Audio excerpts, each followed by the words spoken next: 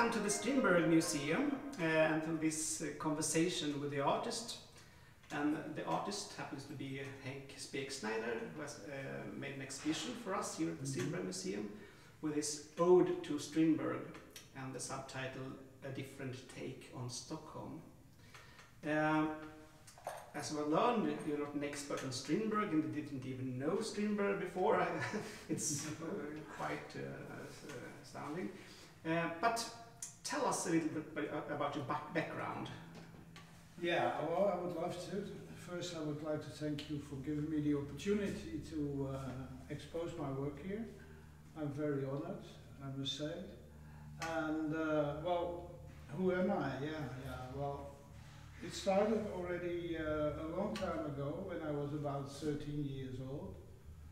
Um, I discovered photography because a nephew of mine was a very good, he was older than I was, a very good amateur photographer and he taught me uh, all the things of the darkroom and how a camera works and I was really fascinated by, by it.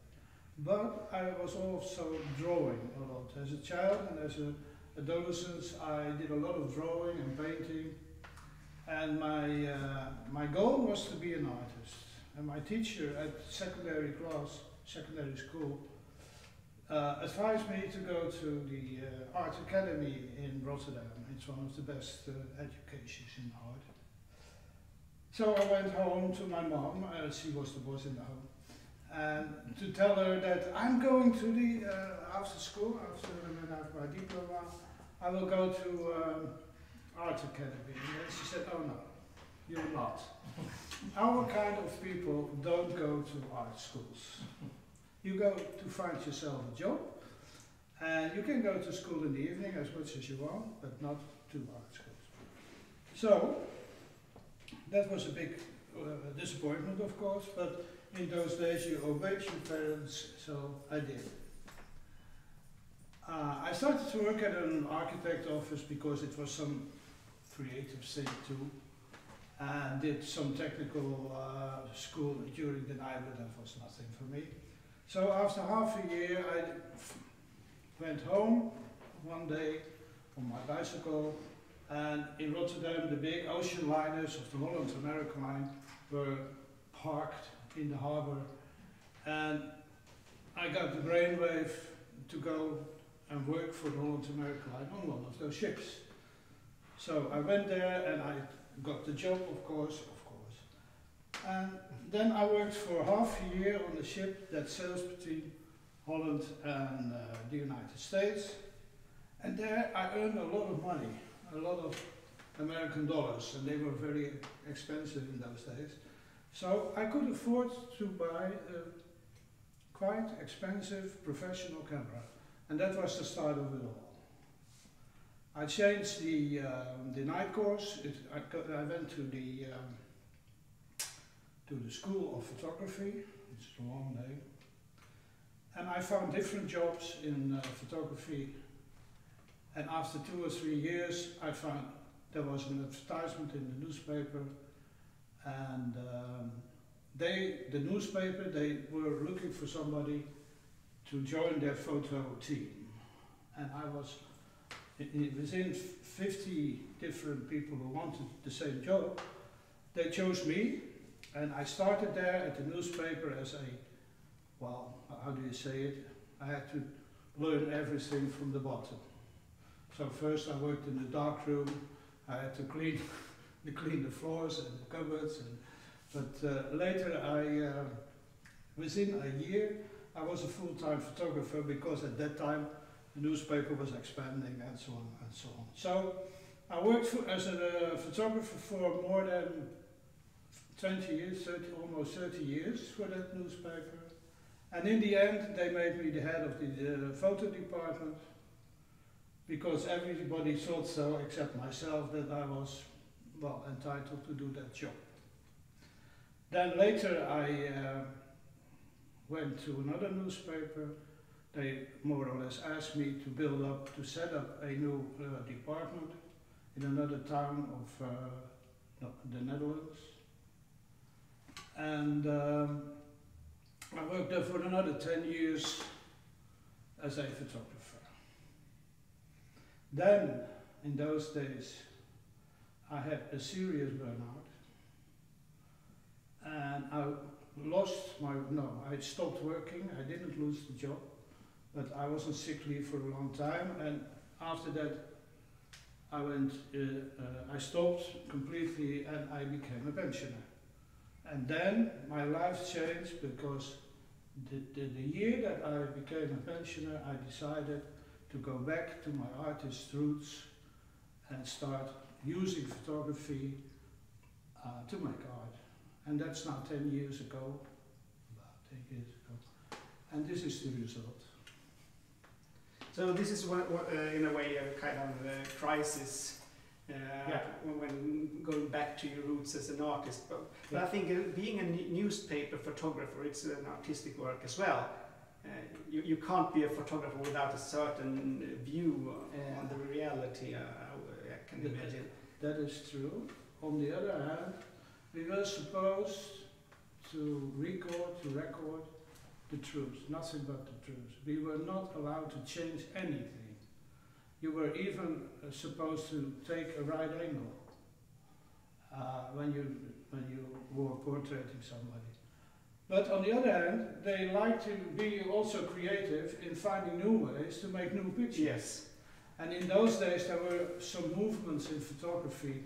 Uh, for instance, uh, when I started in 60, at 60 and begin, begin 70s, the lights, uh, the, the, the, the films were not so sensible for light. They were quite slow, we said. So you always used flashlights to make a normal picture. But in those days, the, the films became more and more and more faster, like we said. So that means they you could use them with available light, and that was well some sort of revolution. I still talk about the analog thing, of course. So in a way, we were supposed to to to record the truth, but we are also allowed to make creative things we we should like ourselves. Mhm. But art, no way. no way.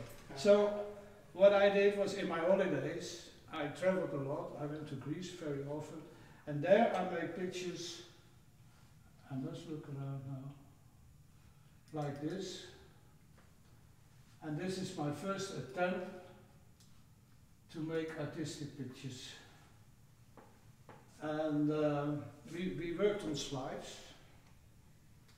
My, I think the young people haven't seen them, but they are negatives posi- in positive film, and you have to look against the light to see them, and you can project them on the wall. We worked on slides, and well, I've lost most all of them. I saved a, a few of them, and uh, well, that's my first step into the field of art. I made pictures like this. Uh, quite useless for a newspaper. or maybe they should have a article about holidays going to uh, to Greece or Spain or something. And uh, but I did later after this is another picture of this area. And later I was allowed to make a book together with another photographer and a writing journalist. We made this book, and every week we went to a different part of Rotterdam, and we walked around all day. And my fellow writing office uh, journalist, he made a story about history and talked to his people. And we made about five or six pictures, well, much more of course, but in the end we uh, selected five or six. And we have every week we have a page, a full page about that little area. And there were about 50 or 60, 70, I can't remember, different areas, and that's the book. I still have one copy somewhere on the attic. so that was the only artistic thing we were allowed to do. So, uh, so you didn't pursue an artistic career alongside with your work as a, photographer. So So you didn't pursue an artistic uh, career while working as a No. photographer. No, so it was afterwards. After. No, it's, now I look back, I had, a, I had a wonderful life. I mean, it was, it was a very variety of work. I had to cover everything, sports, politics, uh, amusement, uh, uh, well, all kinds of stories. And when I started every day, I didn't know what to do. I, I got my list of, I came to the, to the newspaper in the morning and they say, oh, we have this and this and this for you. Okay, goodbye, see you. We traveled a lot. Uh, I went a lot to, uh, to, I was a staff photographer, I wasn't freelance. So the, we were allowed to, to stay three or four days in France for one story, or, or go to Austria or anywhere. So the job was very nice. But the stress, you always have to work against uh, deadlines. Uh, you always have to, you also have to work in different ci- ci- circumstances. Uh, you can't change circumstances. You have to go, and you also have to do uh, things like fires and accidents and uh, riots in the town. So I covered it all, and there was a lot of stress too. So looking back now, I think I would be much have been much happier making things like this. But I had to wait till my retirement to get the opportunity. You mentioned that you travel a lot, but I will ask you anyway. Uh, how did you find Stockholm?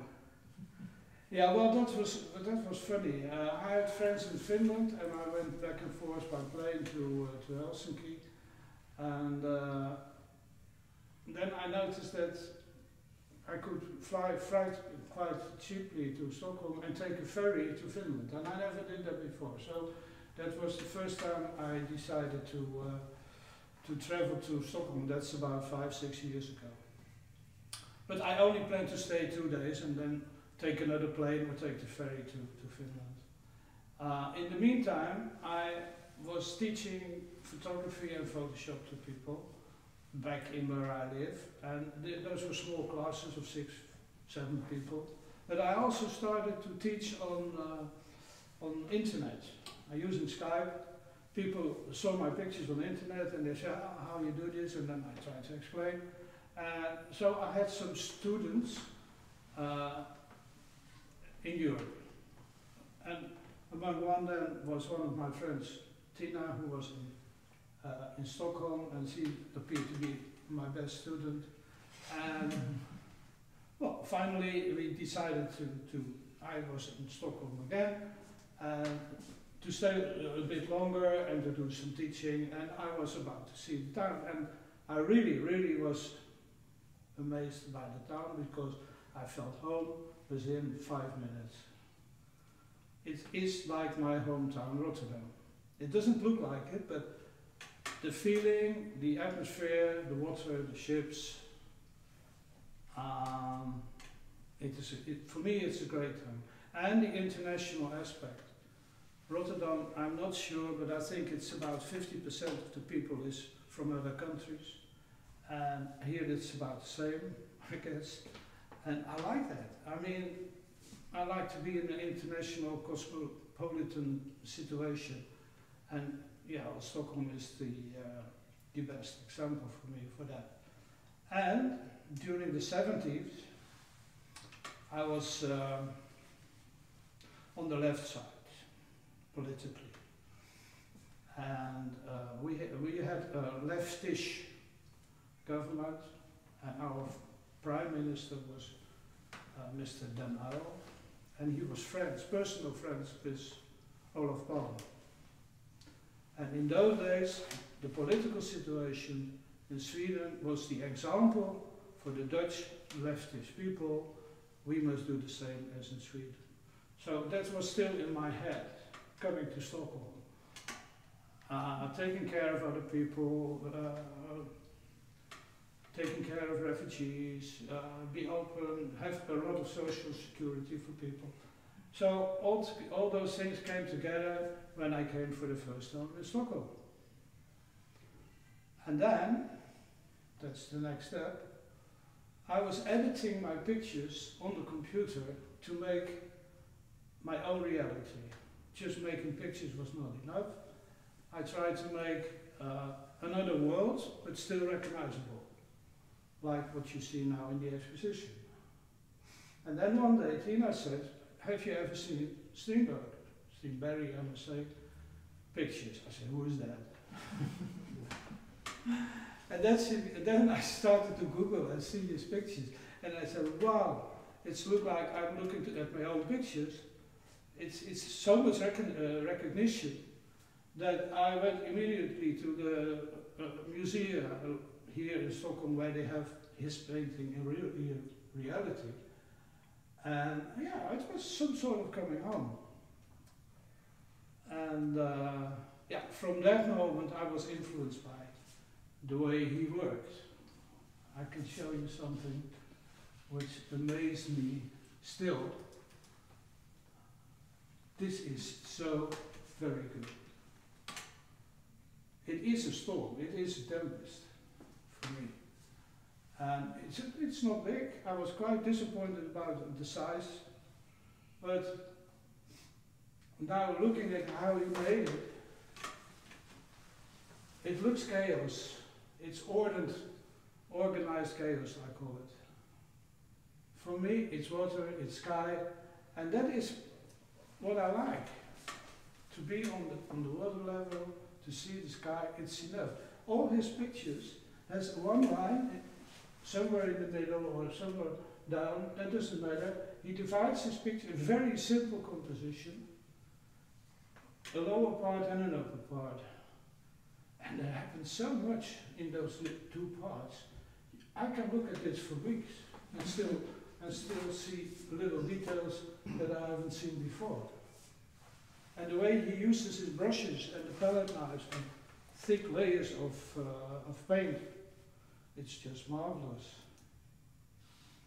And that brings, can I, can I go on? Yes, Sure. please, please. That brings me to this picture. And honest, it's also here on the exposition. I made this about three, four years ago. Like more, it's older already. And only three weeks ago, I saw a picture of uh, a painting, picture of a painting of Strindberg. And look, I could have made this too, or the other way around. Strindberg could have made this too when he had lived here and he would have a camera. He would probably have done the same. And um, I had the same experience with Magritte, the, the Belgian painter, the, the surrealistic one. They opened a new um, museum in Brussels with the work they have, because his work is shattered all over the world and they have quite a, a small collection, but a lot of paintings I didn't see before. And somehow, when I was in that, there were about five or six paintings I never saw before. I didn't saw them in books, I didn't see them in books, and uh, I still recognize them. It wasn't like I have painted them myself. I recognized it, and I have the same experience as uh, with uh.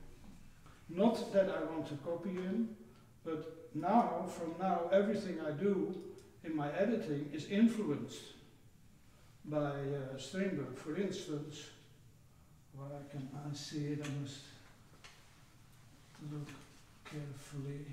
This one. I made this picture also for four or five years ago here in Stockholm and it's already a Strindberg-like picture. But now, knowing him and being influenced by him, I prefer this. This week I was looking at it, and this is, for me, it's so much more. It's zooming in, going back to the essentials of the picture, going back to the essentials of, he leaves, uh, you can leave this, you can leave this, this is not important. And you go back to the essentials of only three, four items in the picture. And that is for me very important. And that's all his fault. Okay. One difference, uh, though, between you and Strindberg is uh, that uh, Strindberg almost never paints people uh, or, or cities or uh, houses. There are, there are one, it's called a city, when you see a small Yeah. hor- horizontal line with what appears to be uh, perhaps Venedig, uh, Venice, or, or perhaps Stockholm. But it's an exception. It's almost seascape. Everyone is seascape. That's true. And you have photographed, uh, made photograph, uh, photograph from, uh, from Stockholm as well? Yeah. Yeah. Well, I noticed in, in, in a very short time that, that the lack of people in his paintings. And um, when I was a photographer for the newspaper, I had to take picture of picture every day. It was all about people, politicians, football players, uh, artists, people, and I got really sick of it. I always had to, you know, play my role as a photographer, be polite, asking, uh, trying to make people at ease, because you had to make portraits. And I had some some uh, difficulties with some people in the, the the municipality board. We had a very dark uh, gathering room where they had their meetings, and one of the uh, members of the the, the uh, how do you say the parliament, the city parliament, became a minister later and she was a woman, and she was angry with me because I didn't make such good pictures of her. I said that's because of the light. And when you talk, you have such, you know, such a mimic, we call it. You, your face is changing all the time when you're emotional, and that was my job, not to make it more beautiful. well, anyway, when I started to work for myself, I, I use picture, uh, I use people in pictures, but very small, and only as part of the whole. I don't, I just, and that's another resemblance with, um, but it's, yeah, well, it's just accidental, but I noticed that we both are not, and by the way, it's very hard to paint people. I tried it too, and I'm not very good in painting people either. I can paint a landscape, but not people. So maybe that's another reason why they are not there. so that's maybe an answer to your question. Another resemblance, uh, it's that uh, Strindberg made also made different layers, perhaps unwillingly. But he, um, when he made photos, he made uh, double or triple exposures. Yeah. So that's quite similar in a way. I, that's another fact I liked about him when I started reading about him, that he, uh, in his time, photography was so new, and he used it. He was, he liked to experiment, and um, in my in my time there was the digital photography, and people of my age, photographers of my age, I was already 40, 50 years old when it started. And I loved it from the first moment. I discovered the possibility of digital. And a lot of people of my age, they were afraid of computers. They knew all how to work in the darkroom, you know, with all the chemicals and all the, the darkroom tricks. And it's so different from computers that a few of them, or a lot of them, uh, actually quit the job because they couldn't cope with it. And well, for me, it was the other way around. So uh, there's another uh, similarity between uh, life and my life is that we both invented something, or we were, uh, we were, um, uh, how do you say that? Uh, mm, mm, mm. Well, we were able to start a new thing, like he was starting to make black and white pictures on paper. I was able to start a new thing on, on digital. And I noticed that now there are so many possibilities in digital that I would never ever go back to analog. It's quite a fashion of young people to go analog because that's really artistic, but that's not true.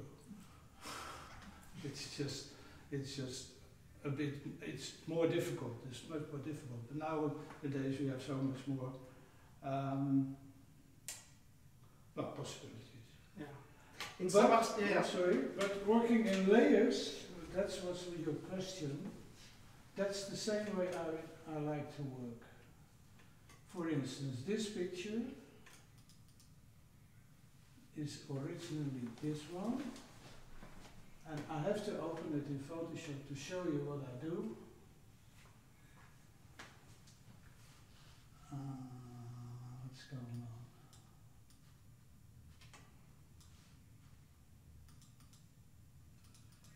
Let's go back to this. There's always something where you want like to show something, then it goes wrong. Sorry. Here are the different layers. It's all started with one layer. This one. It was the view from my hotel in Heuker, not Heukeringen, uh, Hammarby. And in the lower part were all buildings, and uh, but the sky was magnificent.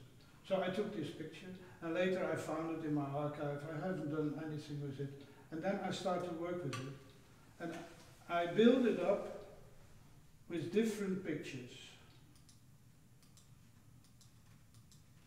And in the end, I had something like this. And then I think it wasn't right at all. It was not finished.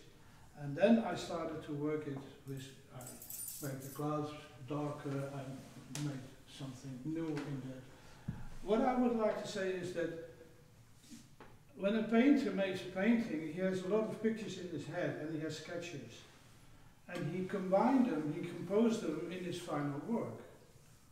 I mean, when, when uh, Da Vinci painted the Mona Lisa, he didn't took her to the countryside and painted the countryside in the same time. He, he glued it together. And every painting, like nowadays, they combine things together. And that is what I'm doing too. So all my pictures aren't real either. They are very real, but they are uh, uh, uh, also my own reality. So that is what I do when I work with layers. Don't save. Okay. Is that okay Yes. for you? Yes. So after finishing this uh, Strindberg uh, ode, what are your com- uh, current projects after this? After this, Yes. my future. Well, I go on in this way, but I found I'm already doing a new project, and uh, that's making. I go deeper into. I make more details. I go inside. I don't go out anymore so much. I use every. I have 250,000 pictures in my archive. I can stay at home for years. and I can just combine things together and I can make banners. They are, I'm already started making them and they are about uh, two meters long and 90 centimeters wide. And in, in the beginning when you see them it's a lot of, you know, abstract, but when you start to look, look back, when you walk back, then you see something like this. So it all started something and it never ends. I have another resemblance with the, I saw it this week for the first time. He also painted trees, not people but trees. And look, I already made trees five, six years ago. We made a book together and Tina wrote the text. But what amazes me in this picture, that he was able to paint light. Look at this part, look at this part. And that's the, that is what it's all about. Capt, capturing the light. Without light we are nothing. Without the sun. Okay. Any questions? Any questions? Do I have more to tell? Let me see. Do I have more to tell you? This I told you. Yeah, I will show you my website or my, my Facebook, Instagram page. It also st- always starts with the wrong page, I go to my profile. I'm not connected to the internet, so I can't show you. but uh, one of your questions was, uh, what's the influence of, um, of Strindberg now on your work? That when you go to my uh, page, there you see But comparing the first picture and what I'm doing, I publish almost every day, there is a change. And even unconsciously, I do things in the Strindberg way. So this will- change in a way, uh, the way you will work. Yeah. Yeah. And when I go out, I always have a camera or my phone because nowadays the phones are getting so well and the, the quality is even going better. That, and since I work in layers, it doesn't matter that it doesn't have to be this very high resolution because I'm changing it and I make it better in the computer. And I always am looking for pictures. Even if I don't make the picture, I'm looking, looking, looking. And when I come home, I'm tired of looking. That's my story. Yes, so nice talking to you. Thank you very much. Thank you, Oh, dear. Thank you.